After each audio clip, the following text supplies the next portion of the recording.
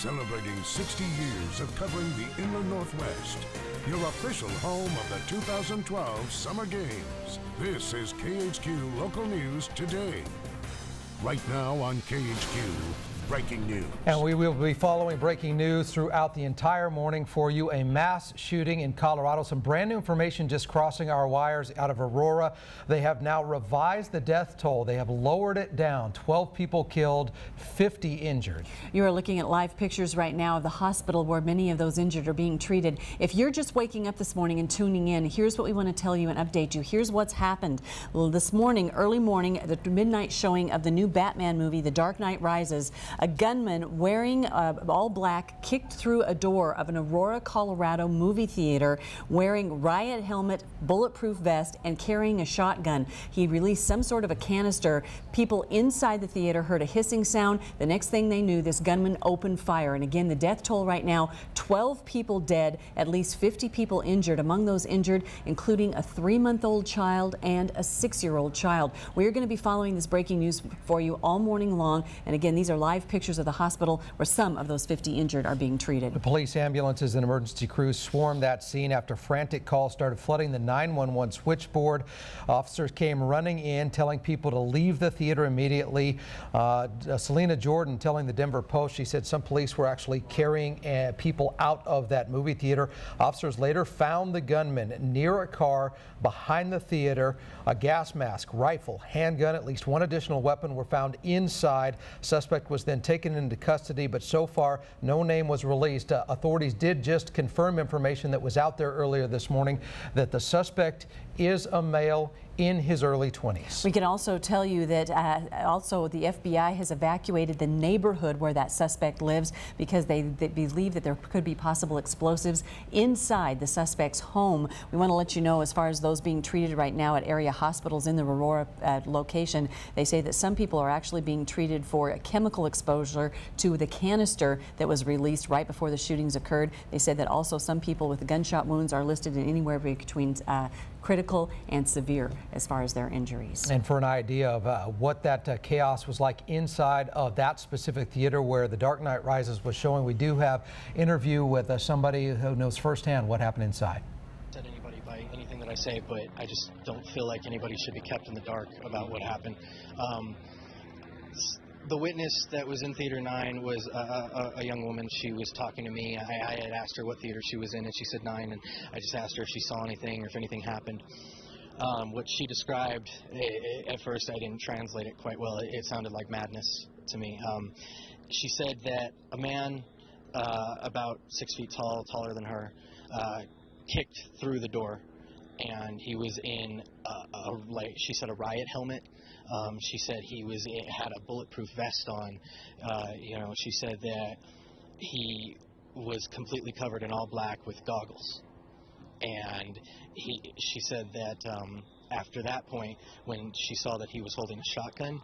They, her and her boyfriend dropped to the floor and just kind of started to crawl to see if they could get away.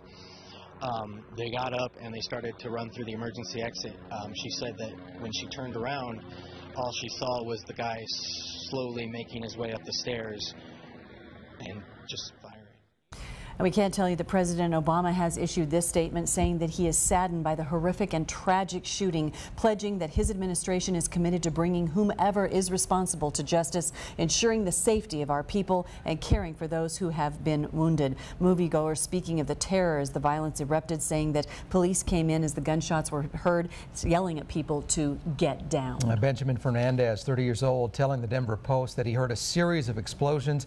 He said that people ran from theater and there were gunshots shots as police shouted, get down. I can tell you, we want to take it live now to KUSA.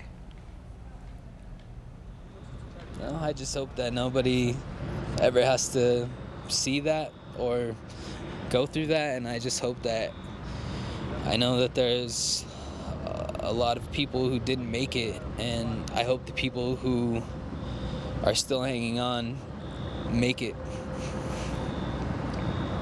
Ben, I, I, really appreciate you taking the time to, to share your story. I know it's not always easy to do, and good luck to you and and all of yours. Thank you so much. So, yeah, I mean, just a lot of people. You're, you're struck by talking to the folks who witnessed this tragedy here in Aurora. Um, th- they're going to be carrying these images with them for the rest of their lives. It's absolutely tragic. Some of the things they had to witness.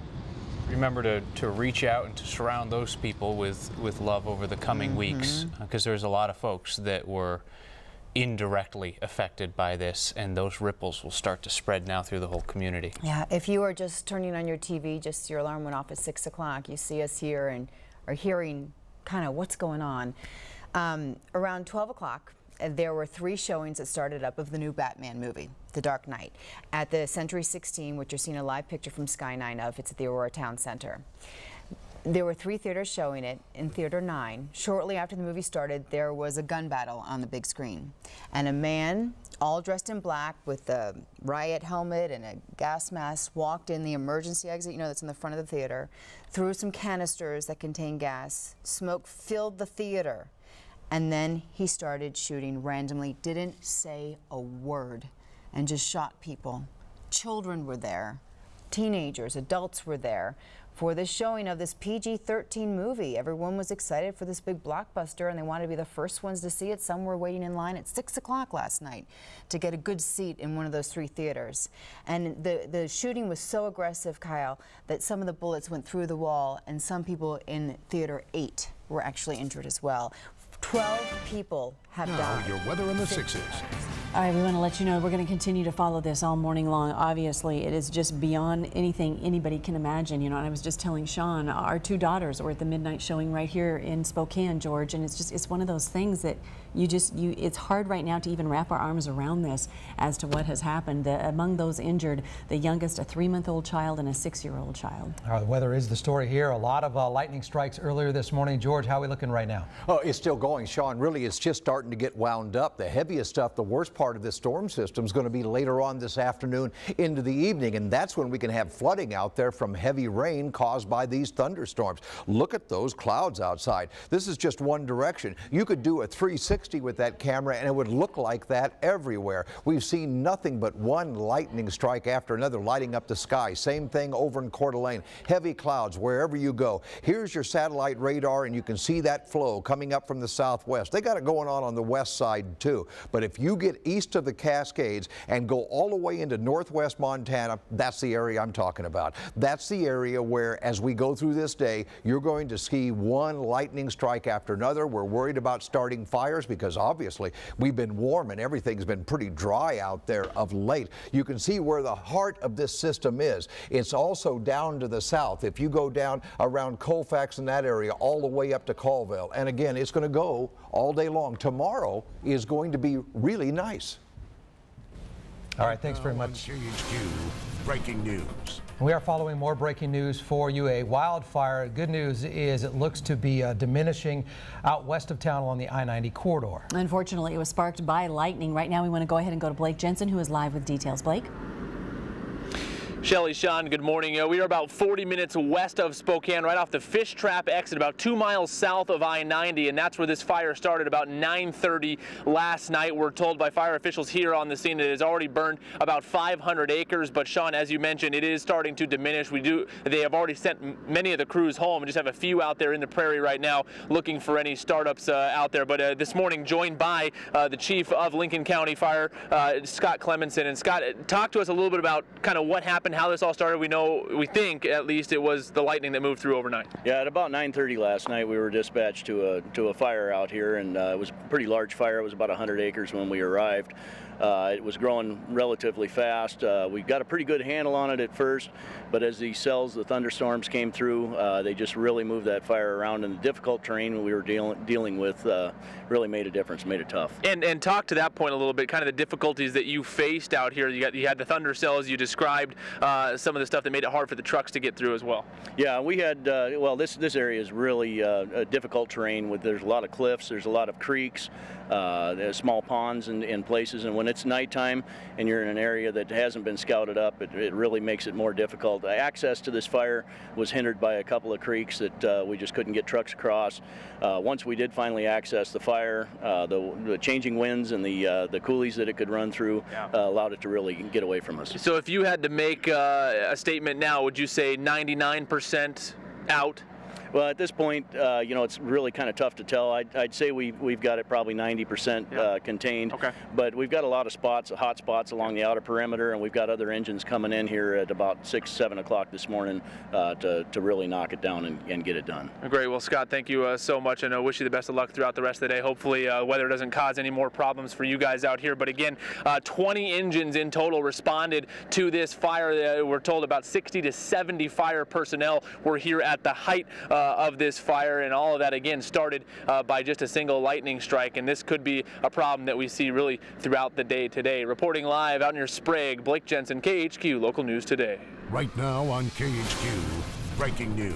And a similar story in Stevens County confirming about 20 minutes ago off of Highway 291 a lightning strike touching down there sparking a fire that was called in to 911 by a homeowner. Matt Rogers is heading that direction. When we hear from him we'll let you know. And we also have some lightning video we want to show you. We went ahead and rolled one of our sky cameras throughout the course of the morning and it was very prevalent throughout the west southwestern part of the sky as you can see here. That whole band of uh, thunder shower activity is actually along a corridor on I-90 between Ritz and Spokane moving eastward toward us. So for those of you that don't have the thunder and lightning as of yet, don't have any rain showers, just know that it is on its way from the west in the Ritzville area headed toward us here in Spokane. Once again, we do want to go ahead and recap. We are following numerous breaking news stories, obviously this morning, the biggest being out of Aurora, Colorado. If you're just waking up this morning, here's what happened. Shortly after midnight, the midnight showing of the new Batman movie, The Dark Knight Rises, a gunman opening fire inside a movie theater in Aurora, Colorado, carrying a shotgun wearing wearing all black, kicked in the door wearing riot helmet and bulletproof vest. And we can tell you uh, that number from Aurora, Colorado police uh, recently revised. The good news, the death toll lowered.